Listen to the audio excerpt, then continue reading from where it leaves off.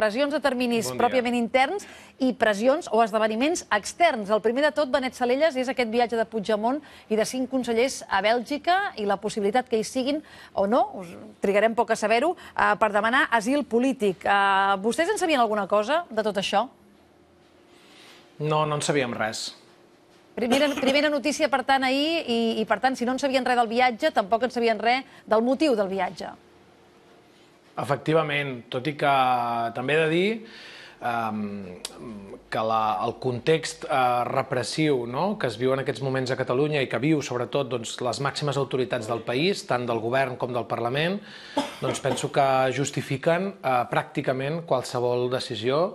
Uh, una persona que no, no? a qui li demanin passar entre reixes els propers 30 anys de la seva vida, penso que, que és, per una banda, molt demostratiu no? de la falta de democràcia que hi ha a l'estat espanyol i, per l'altra, no? de, la, de la necessitat de que acompanyem i ens solidaritzem amb totes aquestes persones. I penso que la idea d'ubicar el focus a, a Brussel·les contribueix a una estratègia d'internacionalització d'aquesta vulneració massiva de drets humans que hi ha a Catalunya que em sembla, em sembla interessant. Eh? Desconec exactament què explicarà el president i quin és d'alguna manera el pla no? que, ells, que ells porten a Brussel·les, però de moment em sembla que és, un, és una bona estratègia. Clar, eh, Benet Sarelles, aleshores eh, podria ser que, que es fos a Brussel·les per internacionalitzar, per entendre'ns el conflicte i el 155, més que no per internacionalitzar uh -huh. la república proclamada divendres? Bé, jo no, no tinc clar que una cosa sigui indissociable de, de l'altra, no? perquè d'alguna manera tot el que està fent l'Estat és una reacció a aquesta república catalana, a la sobirania, a la nostra sobirania i a l'actuació de la gent del país. No tinc clar que puguem, que puguem separar-ho, sincerament. Uh -huh.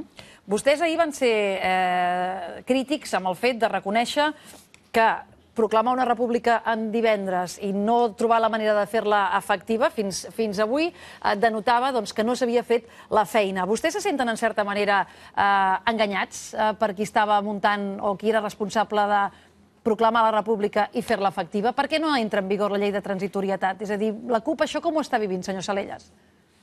Mm -hmm.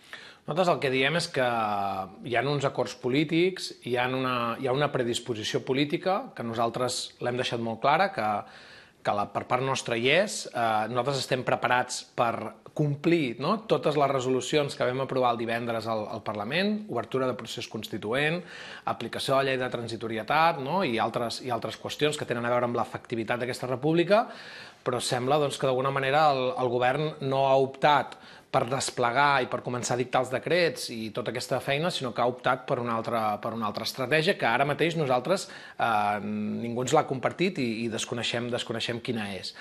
Eh, Dir-ne això engany, bé, jo no, no sé si aquesta és exactament la paraula, no? Com a, com a CUP, nosaltres fa molts mesos que hem denunciat i hem explicat que no s'estava anant al ritme en el que s'havia d'anar, que no s'estaven desplegant moltes de les coses que eren imprescindibles i també hem posat sobre la taula les dificultats que tenia entendre això del procés com una qüestió màgica, ràpida, de avui me'n vaig a dormir espanyol i demà em desperto català. No? Nosaltres sempre hem explicat que aquest és, un, és una cursa, és una marató, no? una cursa de llarg recorregut i que hem d'estar preparats per afrontar un procés que pugui durar mesos i anys. En aquest sentit, Marta Pascal en parlàvem aquest, aquest matí, eh? ha dit unes quantes coses.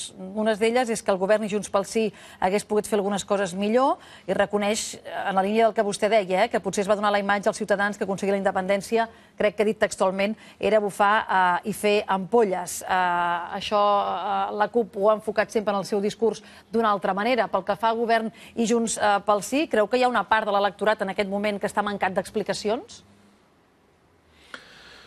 Jo penso que és important ser molt, ser molt transparents. Uh, potser la transparència és la, una de les grans perdedores d'aquests últims dies, no? I, i sobretot d'explicar, explicar, explicar moltes coses. Jo no m'agradaria per res, no, gens, que entenguéssim que la feina que s'ha fet durant els últims mesos i setmanes ha sigut una feina en va, perquè penso que la mateixa situació que nosaltres estem vivint, la pròpia, eh, aquest 155 aplicat a correcuita que ens aplica unes eh, eleccions a només dos mesos, eh, només s'explica des d'una lògica d'una altíssima mobilització, d'una altíssima pressió des de, des de Catalunya. Per tant, jo sóc eh, optimista no? en el sentit de dir que quan la gent surt al carrer, quan la gent es mobilitza, passen coses i passen coses eh, diguem-ne, en aquest sentit, el, el procés va, va avançant, no? i ara ens trobem certament en un moment una mica desconcertant, no, jo crec que nosaltres també estem desconcertats, però vull pensar que sabrem trobar la forma de que, d'alguna manera, continuem fent passes cap a reconquerir aquesta sobirania de la República Catalana. I aquesta forma, Benet Salelles, passa per les eleccions del 21 de desembre? A veure, aquesta forma, eh, Lídia, jo penso, eh, i ho dic amb tot el respecte uh -huh. per tothom, eh, penso que mm, hem entrat en un debat sobre les eleccions sense que ningú estigui fent una anàlisi profunda de què significa que s'ha dissolt un Parlament. És a dir, per fer aquesta convocatòria electoral, s'ha dissolt un Parlament democràticament escollit pels ciutadans de Catalunya la vegada que més gent ha votat en unes eleccions autonòmiques, el 27 de setembre del 2015, i es dissol un Parlament a l'Europa Occidental l'any 2017 i no passa absolutament res. És a dir, no estem posant el focus en el caràcter autoritari que suposa que un poder extern, com és el govern de l'Estat, ens dissolgui un Parlament democràticament escollit.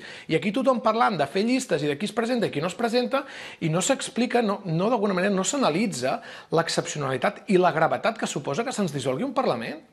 Sí, però, Benet Salelles, és que aquest Parlament eh, ha acatat aquesta dissolució, els consellers eh, han nosaltres acatat... No l'hem acatat nosaltres no l'hem acatat, eh? La, la, la, CUP, la CUP no, som però... Som però, els que som, no? Però, I, no, no, ja, jo entenc, i... entenc el, el, el teu punt de vista, eh, Benet Salelles, però el que està passant és que hi ha dos partits que han dit que participaran en aquestes eleccions.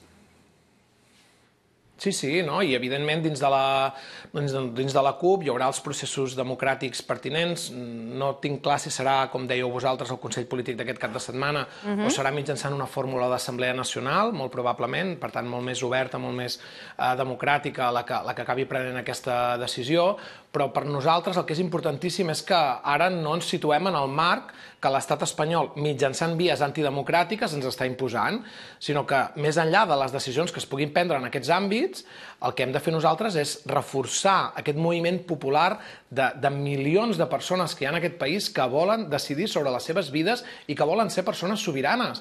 I nosaltres hem de continuar treballant per reforçar aquest moviment i per fer que sigui plenament majoritari al nostre país. I aquest ha de ser el nostre objectiu. No parlar d'unes eleccionetes autonòmiques convocades de forma antidemocràtica. Però si presentarà la CUP? Bé, la, la CUP ho, ho decidirà eh, en el seu moment i sempre eh, la decisió que prengui la prendrà, repeteixo, eh, posant sobre la taula que qui ens imposa aquestes eleccions ho fa dissolent un Parlament democràtic i que aquest és el marc en el que tots els debats s'han de produir eh, durant eh, les setmanes que tenim per davant. Uh, si no s'hi present... Perquè si no ens haurem deixat, és a dir, ens haurem deixat uh, vèncer, no? I, i tant que es parla no? de defensar les institucions democràtiques d'aquest país, trobo que, que al final ens haurem deixat marcar un gol eh, especialment greu, especialment històric, i que, i que penso que com a país nosaltres no ens podem permetre. Clar, Benet Salelles, però entenc que la contradicció i el debat eh, que, que segurament tindrà, tindreu a la CUP aquests dies és eh, aquest eh, assumir de deixar-se vèncer o quedar fora de les institucions fora d'on es prenen algunes decisions polítiques, no dic que totes, el carrer ha estat important aquests anys, però segurament les que s'acaben eh, plasmant, eh, i a més a més potser eh, treure la possibilitat de que l'independentisme, que és l'opció de la CUP, sigui majoritària.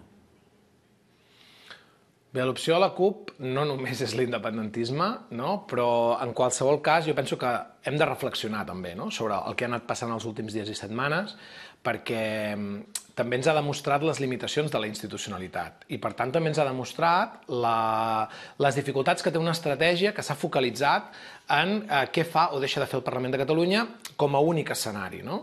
I que jo penso que hi ha hagut iniciatives en, en les darreres setmanes i dies que ens han demostrat que això ha d'anar combinat sempre també d'una nova institucionalitat o d'una nova manera de fer que tingui com a protagonista no els líders polítics en els despatxos, sinó sobretot la gent, el carrer i les decisions preses des de baix. La proposta de procés constituent, per exemple, va molt en aquesta direcció, no? que sigui la gent la que d'alguna manera ens digui quins són els objectius polítics que ha de tenir aquesta República Catalana, quines han de ser les seves prioritats, no? I per tant penso que hem, hem d'anar combinant aquests elements i no estar tan focalitzats en què fa o deixa de fer el Parlament de Catalunya. Perquè i ho dic també sempre amb el màxim respecte i perquè a mi la repressió i també pel meu, per la meva activitat professional em mereix moltíssim respecte. No?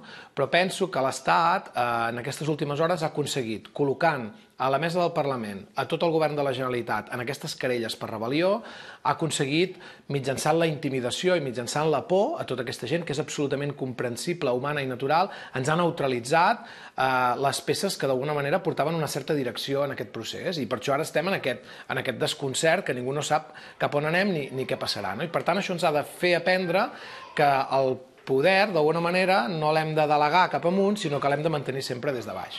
Si es posa sobre la taula la possibilitat d'una llista eh, transversal, ara se'ns fa difícil imaginar, eh? estarem pendents del que explica ara el president eh, Puigdemont des de Brussel·les, d'una llista cívica, d'una llista de país. La CUP eh, es plantejarà la possibilitat de participar-hi? La CUP té un sistema de funcionament molt, molt obert, on, on diguem-ne, totes les assemblees locals i territorials tenen la capacitat de generar propostes polítiques, val? i la veritat és que en aquest moment mmm, jo no, no sé encara, perquè el, el procés just sobre avui, no? per veure quines propostes es plantejaran i quines aniran a les diferents assemblees i també si l'estructura nacional farem o no una proposta en algun sentit, o diverses propostes. La veritat és que en aquest moment eh, jo això no us ho puc avançar, però reitero de la importància de que, si plau no tanquem el debat en, en debats de llistes i en debats eh, d'unes eleccions que es donen, repeteixo, en un context clarament antidemocràtic. Clar, però si els partits que s'hi presenten el tanquen, senyor Salelles, es, jo entenc el focus, eh, on, el, on, el, on el posa la CUP i on el vol... No, sí, però, però, però nosaltres, eh, des de la nostra petita posició, doncs continuarem insistint uh -huh. en que el debat que hem de tenir és molt més ampli, és molt més gran i que ha d'anar acompanyat de debats molt més profuns sobre quina és l'estratègia de l'independentisme en, en aquesta fase que hem entrat, que és una fase diferent a la que estàvem, és una fase nova i que bueno, nosaltres el que no podem és, i seré molt pesat amb això, però no podem perdre de vista que hi ha dues persones a la presó per les seves idees, Jordi Sánchez i Jordi Cuixart, que hi ha ara una llista llarguíssima de càrrecs eh, imputats per un delicte de, de rebel·lió i que hi ha, diguem-ne, una intimidació cap al costat independentista, perquè eh, no oblidem que la repressió es produeix sempre tota en una mateixa direcció, som els independentistes els únics que patim eh, repressió i que, per tant, parlar d'eleccions en aquest context, eh, bueno, mm, és que això no és un context de normalitat democràtica. Doncs haurem d'esperar una mica més eh, per saber què decideix la CUP i com, i com confronta, que crec que era el verb que utilitzava ahir algun de, de les seves diputades, aquesta convocatòria del 21 de desembre. A Benet Sarella,